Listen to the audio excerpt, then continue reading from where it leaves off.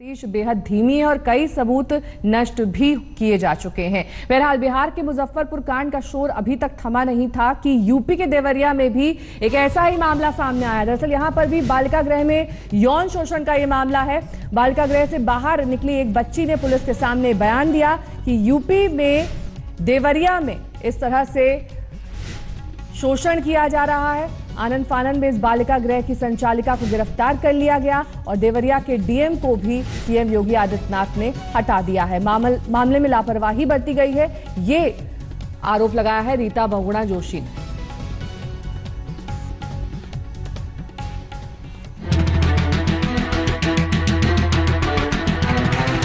Police के सामने बच्ची का बयान। एक दीदी है, उन्हें बड़ी मैम रात को कहीं भेजती थी। कभी लाल गाड़ी तो कभी काली गाड़ी आती थी उनको ले जाने। जब दीदी सुबह में आती थी तो सिर्फ़ रोती थी। कुछ पूछने पर बताती नहीं थी। पुलिस के सामने दिया गया ये बयान मुजफ्फरपुर कांड की किसी पीड़िता का नहीं है। न ही बयान देने वाली बच्ची बिहार की रहने वाली है। ये बयान बिहार से सटे यूपी के देवरिया का है। जहाँ बालिका गृह से निकलकर पुलिस के पास पहुँची बच्ची के बयान से हड़कंप मच गया। दीदी बाहर जाती थी।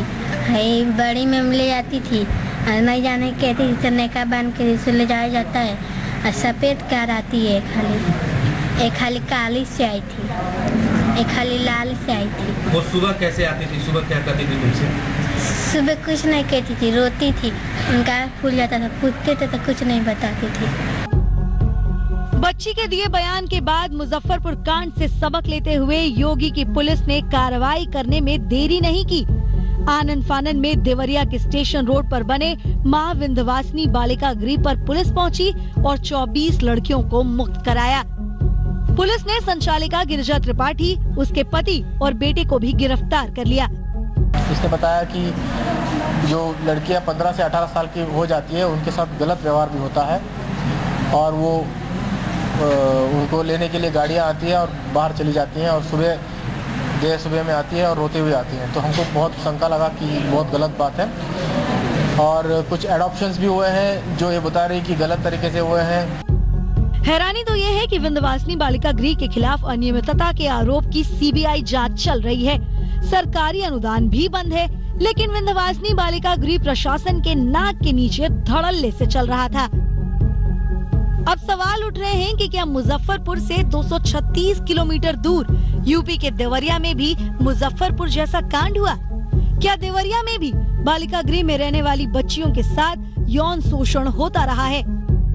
रोती बिलकती बच्ची के बयान के बाद पुलिस भी मान रही है कि महिला प्रशिक्षण और समाज सेवा के नाम पर वहाँ कुछ गड़बड़ होता रहा। संस्था की मान्यता भी रद्द कर दी गई। कुछ बच्चों को भी हटाया गया। लेकिन फिर भी बालिका गृह कैसे चल रहा था? किसकी इजाज़त से चल रहा था?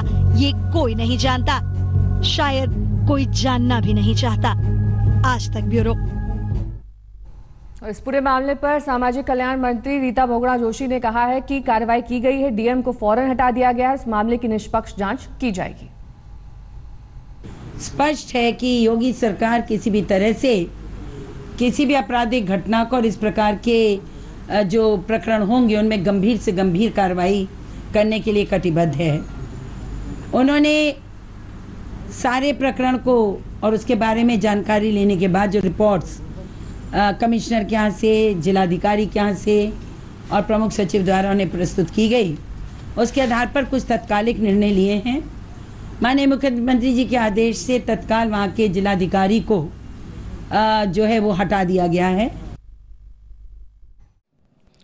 लेटेस्ट खबरों के लिए यू ही देखते रहिए आज तक। और इस वीडियो के पसंद आने पर लाइक शेयर एंड सब्सक्राइब करना ना भूलें।